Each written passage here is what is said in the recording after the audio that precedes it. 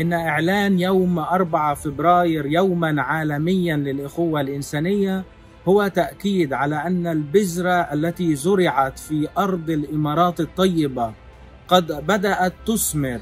إنه اعتراف دولي وعالمي بوثيقة الإخوة الإنسانية. إنه تأكيد على المبادئ التي وردت في هذه الوثيقة. مبدأ المساواة بين جميع البشر رجال ونساء كبار وصغار.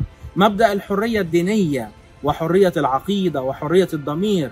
مبدأ احترام الحياة منذ نشأتها وحتى نهايتها.